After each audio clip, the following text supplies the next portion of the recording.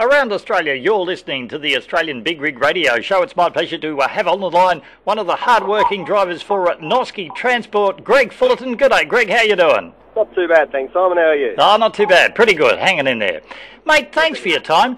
Of course, Noske Transport have been in the transport game for, for many, many years now, and they're, they're renowned for uh, running quality transport on the road. From your point of view, first of all, driving-wise, you've been on the road for many years now.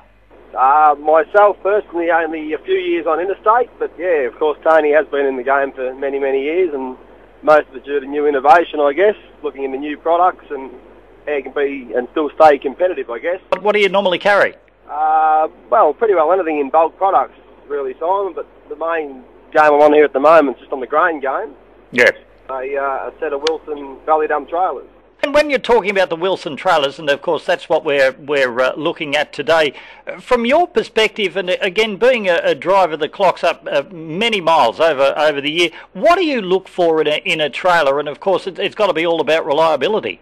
That's right, yeah, reliability, strength, and of course a good payload. If you can't contain that, I guess well, you're not really staying very competitive. So yeah, you've just got to look at that, and what's the lighter the tare weight, the better you get, the better gain you get.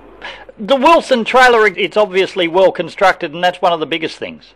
Yeah, that's right. Simon. It's very, uh, very well constructed, mainly of an aluminium base, I guess. Uh, there's no hoist, there's no no need for oil or hydraulics. It's yeah, it's just basically a, a rigid frame, and the grain just goes in the top and open up, and out the bottom you go. There's there's no extra weight needed at all one of the other aspects, I, I guess, too, Greg, and uh, from the point of view of the uh, transport industry and uh, the economy at the moment, again, reliability and uh, service, and, and being Australian-owned, that's one of the big things. And I guess, by and large, when you uh, talk about Wilson trailers, that's one of the great aspects, again, employing a, a lot of Australian people. But uh, from the point of view of, of getting servicing and parts and backup, that that's one of the other big things.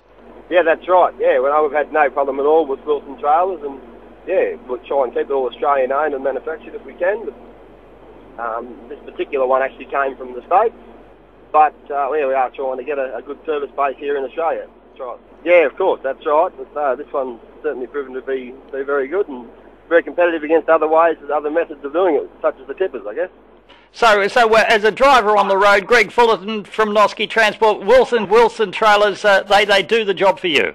Absolutely, yeah, no problem whatsoever, and yeah, highly recommend them to anyone looking for a, uh, a straight grain set of trailers.